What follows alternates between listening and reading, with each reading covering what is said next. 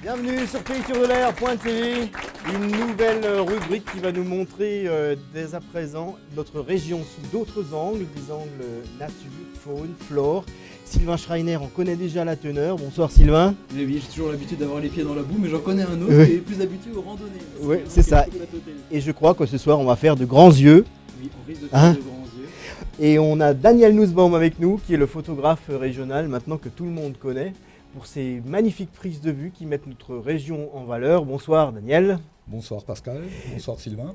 Et alors, la photo du mois. On va par- parler de la photo du mois. Alors, euh, vous parcourez fréquemment nos régions. Et là, on va faire connaissance avec un sapin dont on ne dira pas euh, son- sa situation. On gardera l'endroit bien Oui, secret, hein, n'est-ce pas, selon les prescriptions du photographe. Et de quoi allons-nous parler sur cette photo? Alors euh, Pascal, nous sommes sensiblement de la même génération.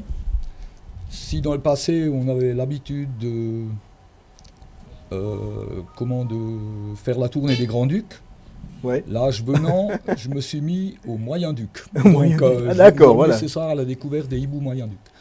Donc en fait, il s'agit d'un cyprès qui est quelque part dans la région. Et les hiboux Moyen-Duc ont cette particularité-là, c'est que tout l'hiver, ils se regroupent dans le même arbre. Et on appelle ça des reposoirs, en fait, ou des dortoirs de jour. C'est grégaire, c'est un animal grégaire donc, qui, qui- En qui hiver, en, en hiver. Et dès que le printemps arrive, ben, ils vont partir en quête de femelles et en quête de- d'endroits pour nidifier. Alors là, on Donc, voit la euh, magnifique image du hibou qui a été prise. Alors, ça se Donc passe là. le matin, le soir ou comment Donc ça, c'est en, ça, c'est en plein après-midi, c'est un, un jour de mauvais temps. Hein, c'est, il fait gris. Et voilà, donc là, il a, en fait, il a décollé d'un cyprès pour aller se poser dans un sapin. Il a décollé parce que je l'ai dérangé en arrivant. La Hein, photo est magnifique. hein. La, la journée, normalement, ils ont les yeux fermés, et à partir du moment où ils, où ils ont les yeux ouverts, c'est qu'ils sont en alerte. D'accord. Et avec les aigrettes dressées, hein, donc ça prouve bien qu'il est, qu'il est méfiant et curieux. C'est sacrément bien camouflé hein, comme animal. Ah oui, Ah c'est-. Regardons cette image euh, en, haut- en haute définition, naturellement. hein, la Oui. question ne se pose pas, mais il faut, faut des heures de patience pour euh, attraper une image comme Alors, ça. curieusement, non, Non puisqu'on connaît l'arbre. Ah oui. Donc à partir du moment où on connaît l'arbre, on peut y aller n'importe quand. La journée, ils seront là. Après, le tout, c'est de ne pas les déranger dans l'approche. hein. Il y a toute une procédure d'approche. Il faut y aller doucement. euh, il ne faut pas faire de gestes brusques, pas de bruit Oui, oui, métallique. oui, euh, ouais. Voilà. C'est- C'est à quoi comme taille? Parce qu'il doit y avoir le petit, le moyen et le grand. Absolument. Donc Le- le, le grand, il fait 80 cm.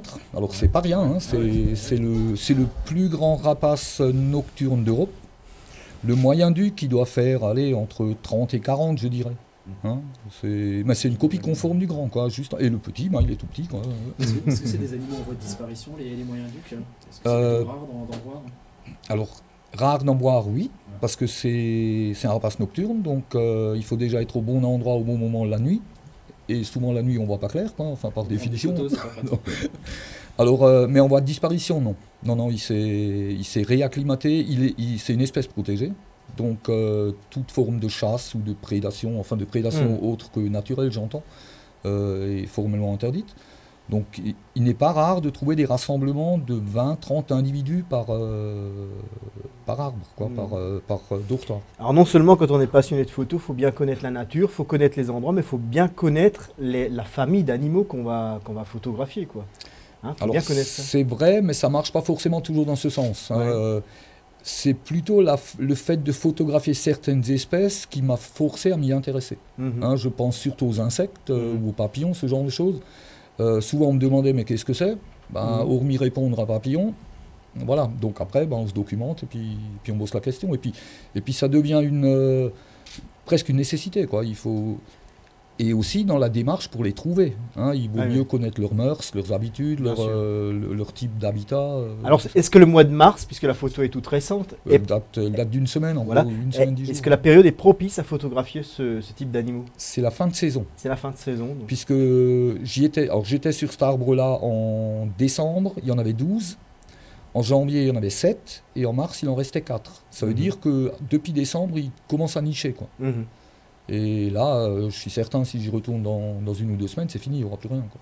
D'accord. Mais ça reviendra l'hiver prochain. C'était le moment. quoi. Alors, puisque c'est la photo du mois, on peut aussi parler peut-être de l'aspect technique. Ça, c'est des photos qui sont prises au téléobjectif. hein. Oui, mais bizarrement, c'est pas compliqué. C'est c'est des photos, par exemple, sur ce spot-là, j'ai emmené, euh, puisque dans le cadre de mes activités, je fais des stages photos, j'ai emmené des stagiaires. Et donc, euh, on est à euh, allez, euh, 3, 4, 5 mètres de l'arbre, et l'arbre qui fait 6 mètres de haut. Donc, c'est la difficulté, c'est pas tellement. euh, il faut pas nécessairement un gros téléobjectif. La difficulté, c'est de passer dans le, dans le touffu du cyprès. Hein, le, le- le problème, c'est qu'un cyprès. ouverture, quoi. Voilà. Ah ouais, Alors c'est pour ça qu'il y a des images, euh, et on voit juste un œil ou juste une aigrette. et- Mhm, mhm, mhm. Ah ouais, ouais, Voilà, mais, mais- te- techniquement, c'est pas très compliqué. Il y a certaines règles à, à Respecter, parce sûr, que la lumière un est faible. euh, Il y a un DVD, c'est ça, ou un recueil de photos Voilà, c'est tout à fait d'actualité. Donc c'est un diaporama qui m'a été demandé pour la soirée débat du club vosgien qui a eu lieu il y a trois semaines. Et c'est un hommage à la vie euh, au-dessus de 1000 mètres. Donc c'est aussi bien les plantes, les paysages, les animaux, les oiseaux, les insectes. euh, voilà, diaporama sonorisé, animé, euh, un bon moment. Un bon moment à passer, quoi. Et comment on fait pour se procurer le... Donc soit par ma page Facebook directement chez moi, sinon il est en vente euh, dans l'épicerie de Crute, l'épicerie d'Audrenne, le salon Elixir, bientôt l'office du tourisme et le restaurant Les Trolls en arrière. Voilà, Eh ben voilà, tous les points de vente de la vallée, donc un bon moment à ne pas manquer. Hein, Hein, voilà. je pense. Hymne à la vie par Daniel Nussbaum et ça a été euh, Patricia Suter a participé aussi. C'est mon épouse, oui. Voilà, oui, d'accord, vous êtes à deux. Voilà, c'est le couple euh, au service Ben, des, voilà. des belles images de notre région. Donc, euh, hymne à la vie par Daniel Nussbaum et son épouse dans tous les bons points de vente. Merci beaucoup. Bon, voilà ce DVD, Daniel. On se retrouve le mois prochain. Et à tout de suite.